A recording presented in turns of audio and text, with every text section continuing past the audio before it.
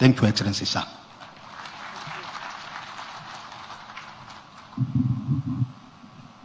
Thank you, Your Excellency. Allow me also to introduce my cabinet colleagues who have joined us today, starting with the CS for Investment, Trade and Industry, Salim Mvurya.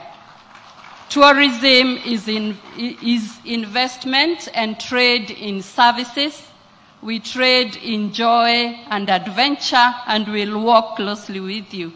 The CS for roads and transport, there is no tourism without transport. The CS for education, we partner, there is a lot of capacity building that is required. I will then introduce the PSs who have joined today.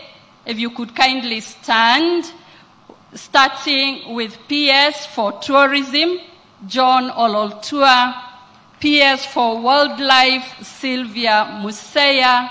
We have PS Abubakar for investment.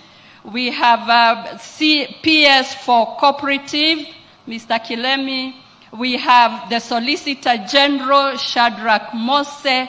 We have Ummi for culture.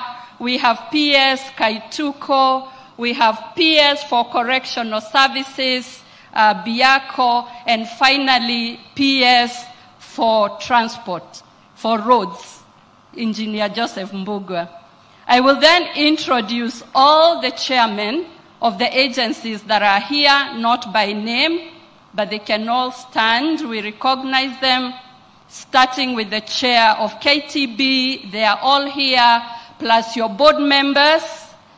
Kindly stand, and the CEOs present, and all government officials who have attended today. You're welcome, Your Excellency. The whole country is here. Uh, thank you very much. Uh, Your Excellency, I want to thank you very much for the valuable time you have set aside to join us today, a testament that you really value the tourism sector. We thank you for your guidance and for the leadership.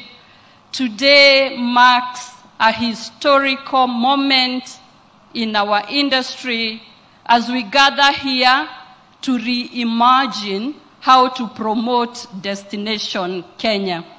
Your Excellency, we intend to double our numbers and we have a whole strategy that we've taken you through. We are working on diversifying the products, increasing safety and security, digitizing, among others. And we are grateful that this is a starting moment. We want to assure you, Your Excellency, that we will not tire until we have a fully thriving tourism sector. With those few remarks, ladies and gentlemen, join me. We stand in welcoming His Excellency the President. Mr. President.